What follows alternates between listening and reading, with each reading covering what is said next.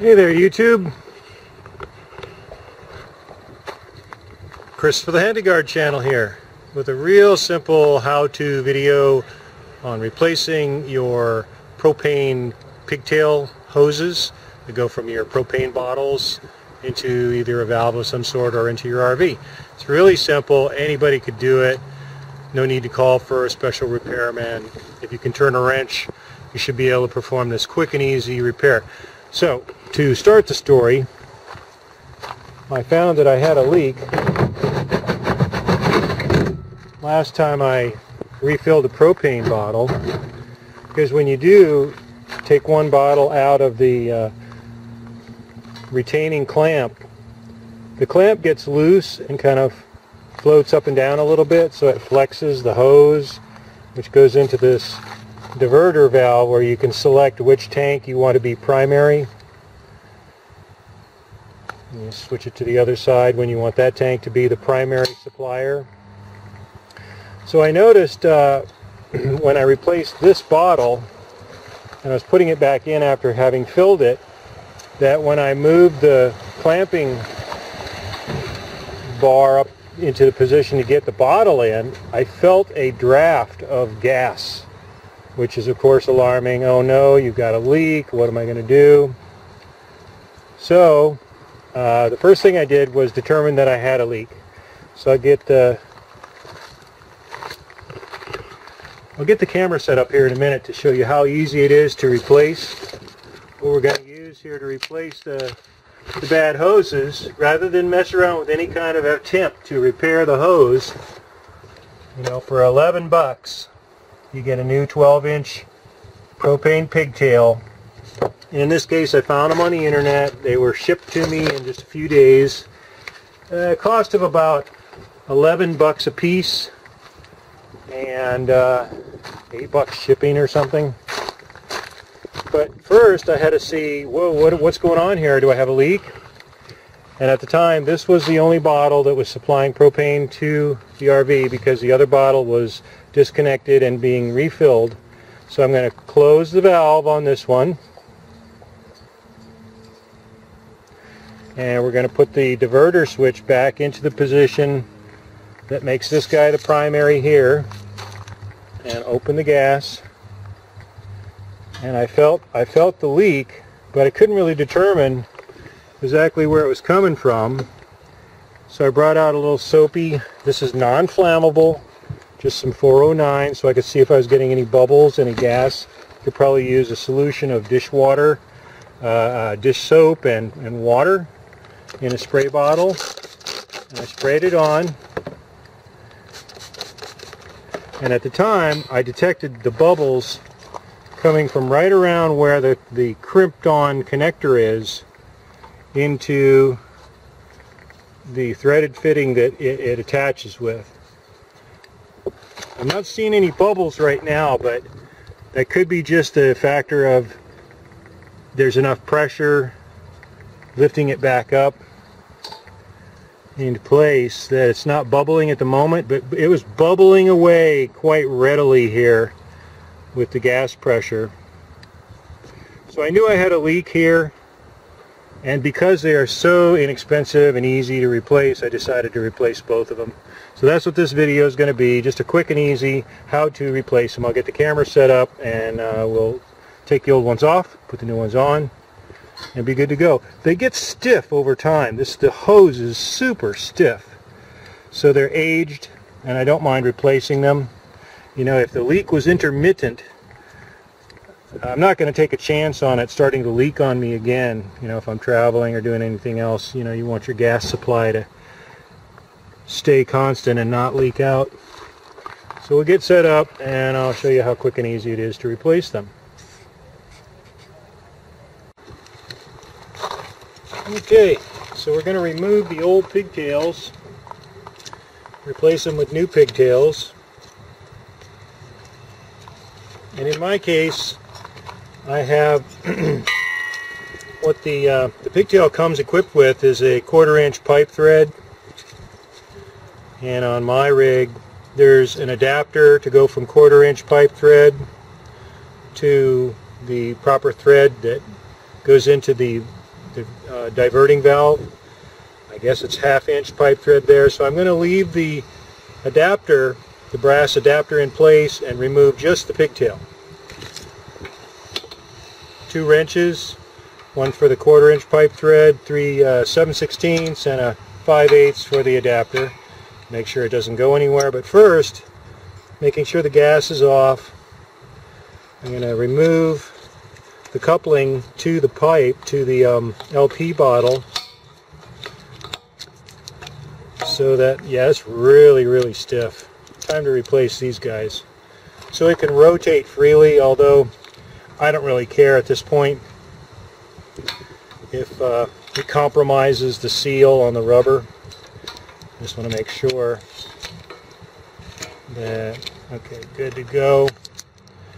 Very easy to remove.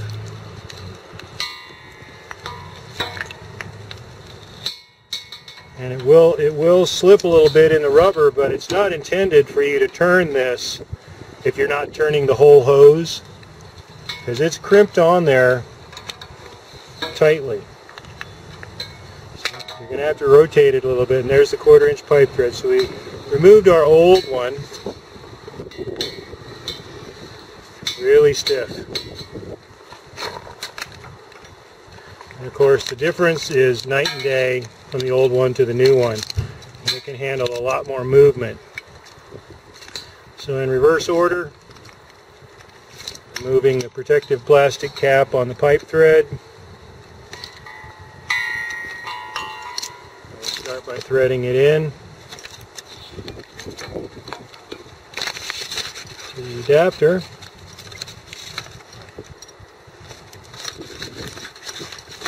Without any Teflon tape. I'm going to see if it's, uh, it didn't have any on it initially, so I'm going to go ahead and install it and uh, then check it for leaks.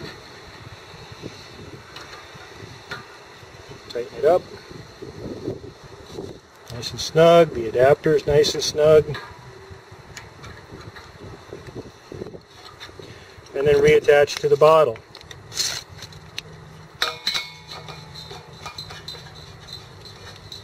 Doesn't get much easier than that. So now I should have reliable, much more flexible hosing when I go to take a bottle off and refill it. Because this kind of floats up and down when you remove a bottle, it should have plenty of flexibility in the hose to accommodate that without developing a leak from an old stiff hose. One more time, I'll uh, show you what the other side looks like as well as we go through the replacement of that side too. Okay, camera angle is not that great over here, sorry. Uh, trying to keep the sun out of the lens. So same, same drill over here. And notice the movement. That's what uh, taxed the old stiff hose and got it to leaking when it was moved around during replacement of the bottles. Keeping our adapter in place. Gonna loosen up the quarter inch pipe thread now I can probably just spin it, except that the hose is really stiff. have to try it. Alternatively, I could remove the propane bottle if it was that much of a hassle. In this case, I think I can deal with it by leaving the bottles in place and be a little quicker. So there we go, we got the old one off. I may hang on to them just for a little while until I, have verified that my new ones are operating okay keep them as a last ditch backup just in case. Brand new hose. Yeah, big difference. I think we can go ahead and remove the tagging. And what a difference an $11 hose makes. Alright, we'll take off the protective plastic cap, thread them into the adapter.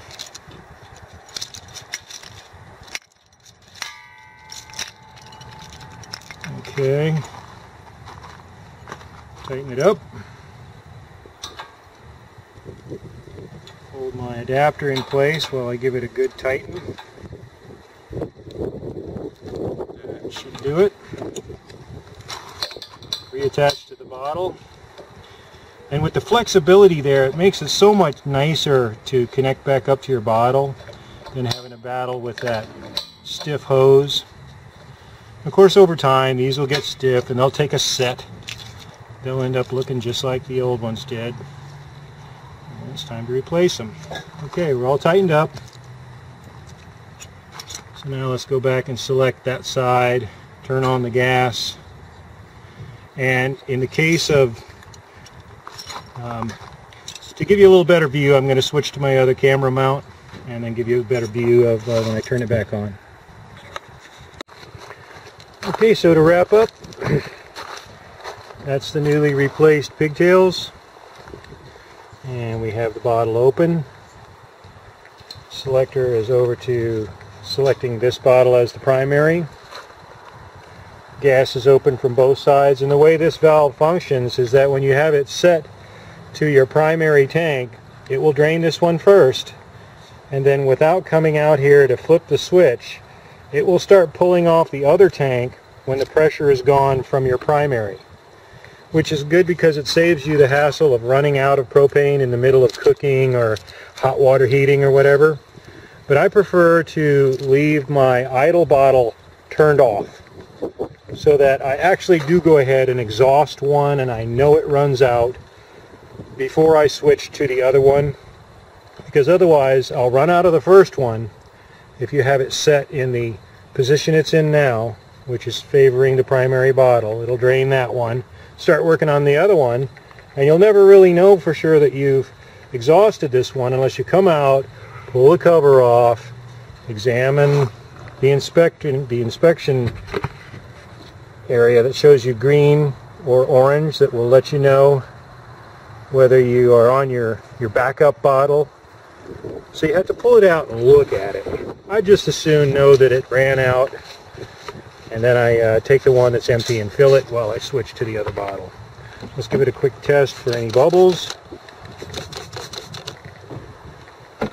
Looks good.